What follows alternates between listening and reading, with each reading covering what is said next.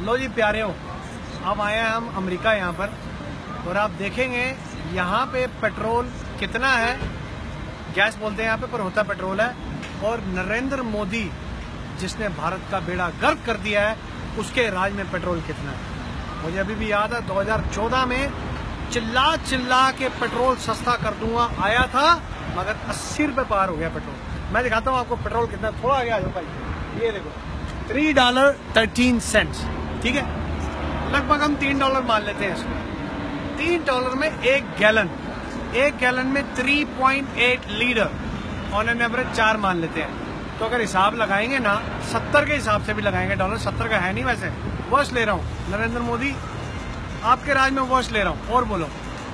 सत्तर के हिसाब से डॉलर लगाते हैं, तब भी यहाँ पे बावन रुपए से ज़्यादा प्रति लीटर, रुपया से ज़्यादा प्रति लीटर पेट्रोल नहीं है।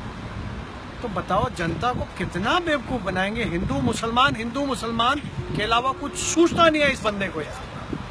क्या क्या वादे करे थे और क्या क्या हो गया?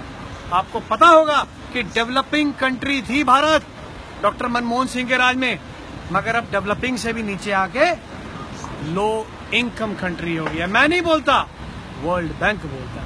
तो इसलिए थोड़ा शर्म करो, हिंदू, मुसलमान ने कुछ नहीं रखा। ये चवड़ बंदे हैं ये।